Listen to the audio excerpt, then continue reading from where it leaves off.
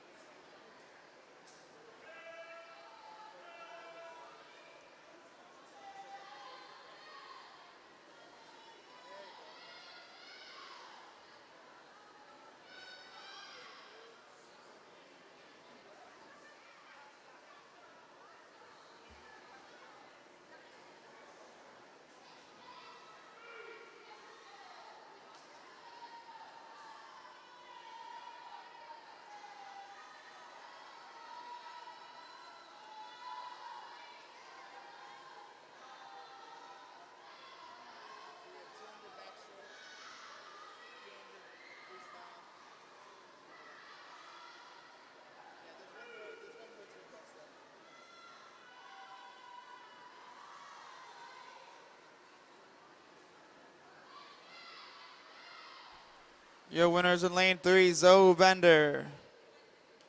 Zoe Bender, 247.27.